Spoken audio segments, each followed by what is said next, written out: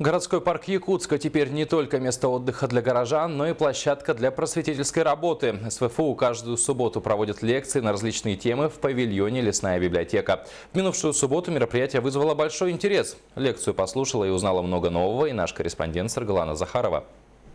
А знаете ли вы, что обычная ангина у ребенка может стать причиной болезни костей и суставов, а клетки кожи человека должны питаться так же, как и сам их обладатель?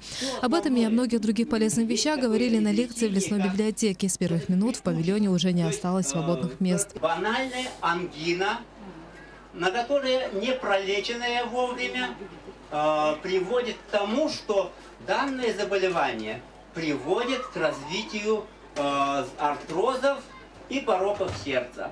Тема здоровья и медицины оказалась весьма востребованной у жителей столицы. На лекцию пришло не только старшее поколение, но и молодые люди. Конечно, интересно, это полезно. Откуда вы знали, что Я случайно объявление увидел.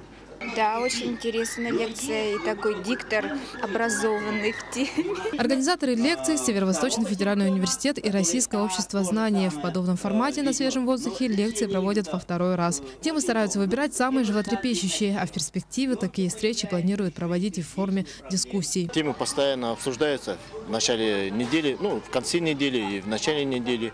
И какова, какая лекция будет уже следующая, да, мы узнаем только за 5 или за 4 дня. Вот. А со всеми лекторами мы отрабатываем, а, работают.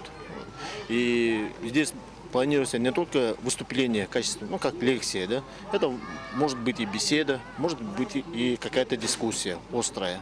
Анонс предстоящих лекций можно найти на сайте университета, а также действует рассылка в мессенджерах. А в следующую субботу организаторы обещают рассказать о том, как правильно питаться в условиях Крайнего Севера и как правильно выбирать продукты для поддержания здоровья и красоты. Саргалана Захарова, Максим Ростовцев, НВК Саха, Якутск.